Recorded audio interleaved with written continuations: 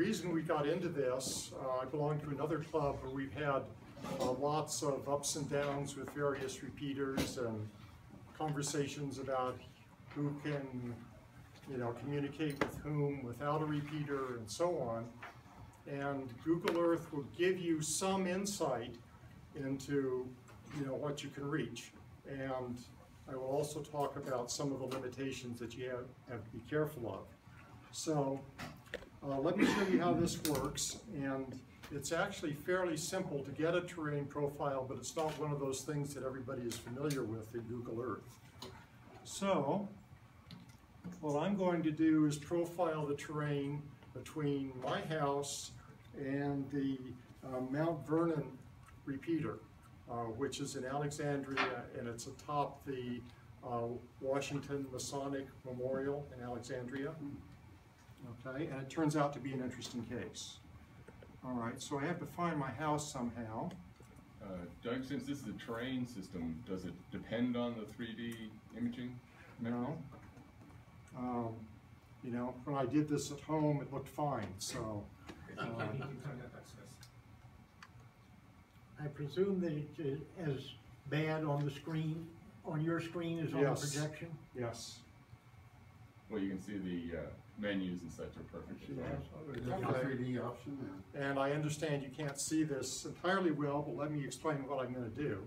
So I've uh, located my house, and uh, what I wanna do is um, try to zoom in on my house and locate uh, my antenna. And this is, this is my house here and the antenna's on the chimney. I'm actually gonna just get rid of the marker that they provided and I'm gonna go up to the push pin and um, the way this push pin works is that you need to place the push pin where you want it, which is in my case on my chimney. Um, and after you've, you're happy with it, then you go over here and you give it a name. So I will call it AK4AO. When you put it on your chimney, is it actually 40 feet up or? Well, that's actually one of the limitations of Google Earth because the terrain profile you're going to get is ground level, Yeah, okay. okay? Okay, so that's, um, oops, where did my, where did my marker go? You went back down below. Maybe you didn't click OK after that. Yeah, correct, yeah, you just put the, yeah. Um, Yeah, I you might click have missed the okay, let me try it again.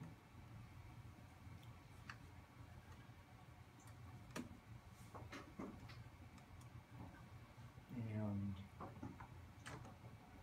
all right, That's got it. all right, we got it. Now, I'm gonna do the same thing with the MVARC uh, repeater. And for that repeater, I happen to have GPS coordinates. Okay, and the coordinates that I have are in degrees, minutes, and seconds. So you can type them uh, degrees and a space. Let me focus back here. Degrees, minutes, seconds. Let's see, thirty-eight, forty-eight, twenty-seven point three two north. And seventy-seven, oh three, five, eight, west. All right, and so we'll go ahead and search that. Doug? Um, for the sake of this stuff of the class, could I ask you to move over that way a little bit? It Okay, looks like sorry the, uh, about that. No, I mean, move the table over. It looks like a table. All right, is that better? Yes, thank you. Well, Okay, thanks that's for letting me worse know. for me, John, but that's okay. Okay, now, um, I've you know, got the, um, marker and it's in about the right place. So the next thing I'm gonna do is create a path in Google Earth between the two locations. And to do that, I'm going to, probably the easiest way is to zoom out so that you can see both of them. So let me see if I can get that to happen.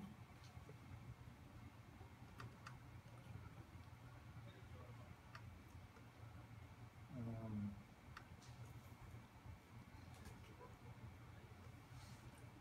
All right, and I'd like to get in a little more than that.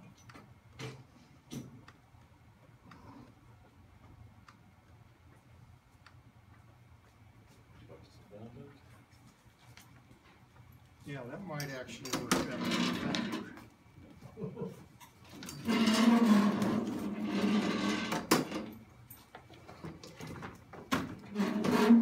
See, Okay. And we'll settle for that, uh, for now. And then the way you create a path is to go up here to this icon, this is the path icon. And same kind of deal here. Now, uh, you can do a path various ways. You can drag along the route, but we're interested in point to point. So what I'm gonna do is click on the beginning point and then go over and click on the endpoint. And I'm going to uh, finish it up by naming the path. So let me call this AK4AO hyphen MVARC which will help me remember what it is, I'll say okay. All right, so, now I've got, I've just created the path, and I've got it highlighted over here in the places. Now, there are two ways to get into the elevation profile. Uh, one way is to right-click this, and click Show Elevation Profile. And the other way is to go up to Edit when you've got it highlighted. All right, and to even this is going to give me this 3D business. But um, anyway, what this does is show me the elevation profile between my house over here. And it's, it's hard to read, but it says that's 263 feet. And then over here, uh, we have uh, the Mount Vernon reflector, which is 117 feet. Okay, so am I gonna be able to reach that repeater Depends on what band you're on. On two meters? Probably not. Well, if you just looked at this, you would say probably not. But what did we just say about what Google Earth is telling you? Ground level. It's ground level. All right, and the, uh, MVARC antenna is on the top of that memorial, that's three hundred feet up. And on my side, it's, you know, it's on my chimney, so give that, say, twenty feet. So if you add twenty feet here and you add three hundred feet here, uh, I can work it from the, my front yard with an HT. So what's the reading right there? So, Well, then you wouldn't be adding twenty tower. feet on your side. uh, well, I'm gonna go up a little bit here, and I'm gonna go up even more here, see? So both of those elevations are helping me overcome this hill that's right here. And you can't get around a little bit. Well, that's interesting. So if you actually move that slider to the top part, it'll show you on the map where that is. Yes, Or it will show you, uh, That's the point. where along the path. Now, And the elevation? yes, it does indicate the elevation, so the right red here is flag. three hundred and ninety-two feet. Okay, now another thing that I, I find interesting to do is say, okay, well, where is that really? Now, there is, you can't see it well on here, if we could get out of this three D mode, there's a red arrow that follows the path and indicates We can see it moving on that line. Yeah, you can see it on there. Um, but And when I move out of the, out of here, it goes away. But what you can do is sort of highlight, uh, the peak area like that. And then it will color the path, and again, that's not easy to see here. Ah. And then you can zoom in and, uh, Tell somebody to get out of the way, right? and, you know, see where it is. And the, again, the highlight is not working the way I want because of, It's a dark section of the path though. um, but anyway, if, uh,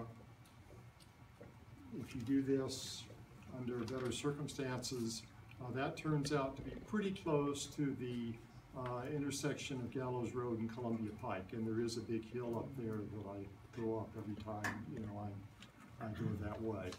So that helped me understand, you know, where that terrain feature actually was. Okay, so And that's. how much TNT would it take to lower that?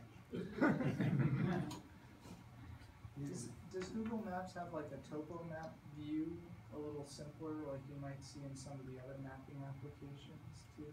Uh, I don't Google know Maps of a, does. I but don't not know Google of Earth.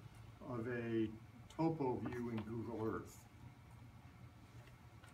Uh, but I'm not an expert on Google Earth.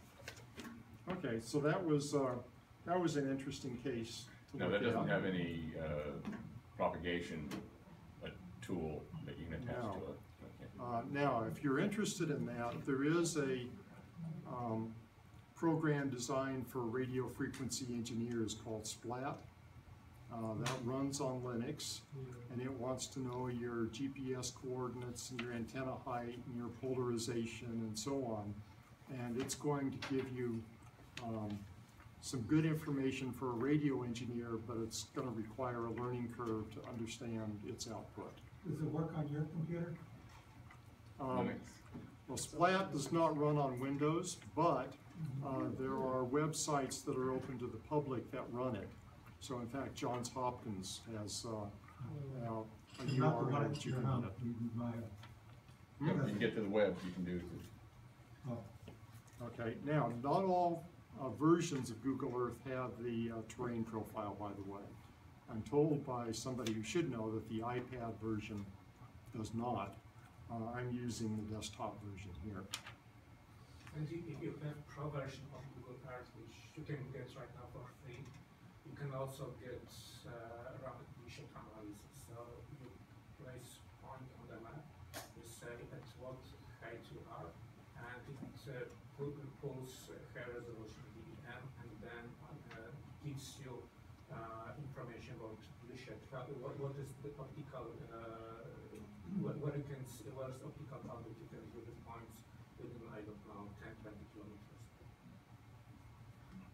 So you can uh, point on, your- uh, on your home, tell that you have uh, antenna at uh, 20, 40 feet high, and it will show you the area that you can see directly. Oh, really? Concentric circles, perhaps, in a circle? No, it's, it's more like uh, Camera view. shadow. Oh, Like that oh, you shadow, light, yeah. light the sh- uh, shine a light Right. from this point and uh, where's the shadow? Oh, It's that's- more or less this, uh, this, Mhm. uh. That's And very you, you useful. can get a license for Google Earth for free. Okay, interesting. I wanted to show you one more path. And uh, this is the path between uh, K6BFA and the Bluemont repeater. All right, so, um, let's see.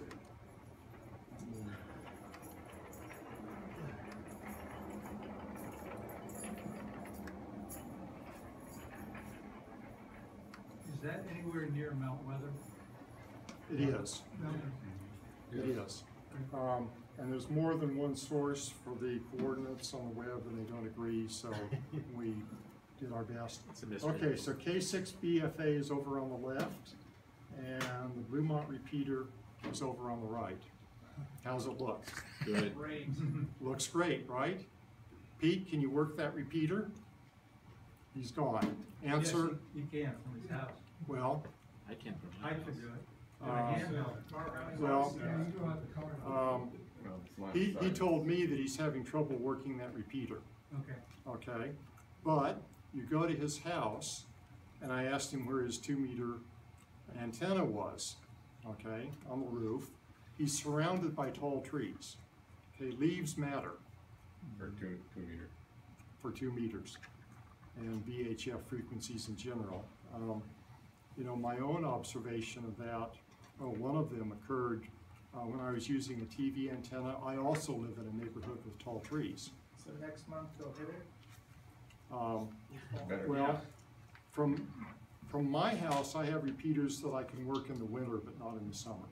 Okay, but also, uh, when I was using, uh, TV antenna on the roof, it was fine unless the wind blew.